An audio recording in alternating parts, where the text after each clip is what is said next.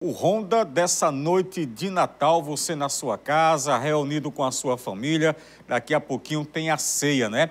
Mas enquanto isso, vamos de notícia aqui no nosso Ronda. Para começar, uma notícia que vem lá da cidade de Apodi. O GTO de lá conseguiu fazer a prisão de um trio. Esse trio, meu amigo, estava armado em atitude suspeita na barragem.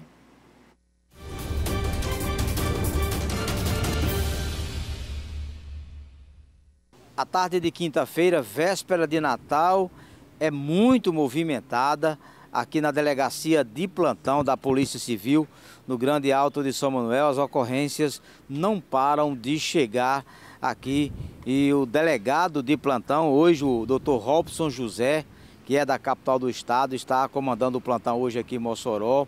Tem muito flagrante né, para lavrar aqui nesta delegacia.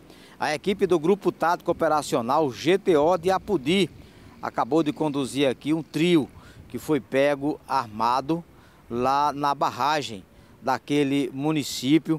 Clinton Maia de Freitas, de 25 anos de idade, Lucas Daniel da Silva Costa, 18 anos, e Francisco Matheus Henrique Gama de Carvalho, de 24 anos. Na abordagem dos policiais foram encontrados dois revólveres calibres 38 Inclusive, além das 12 munições, que são as cargas desses dois revólveres, os policiais ainda apreenderam 13 munições excedentes, ou seja, 13 munições que estavam de reserva e também foi apreendido uma pequena porção de maconha, uma porção de cocaína e três celulares, além de 298 reais em dinheiro.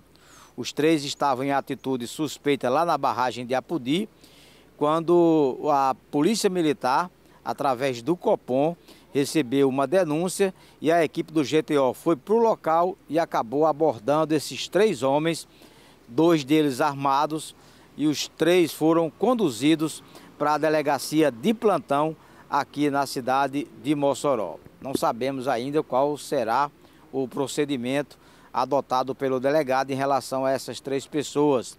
Possivelmente é, o Matheus deverá ser liberado porque estava apenas com esses dois homens e aí os dois, cada um com arma, além de arma de fogo também drogas.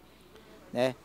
Quem sabe aí quais serão os entendimentos do delegado de plantão para que lavre aí esse procedimento aqui na DP de plantão em Mossoró.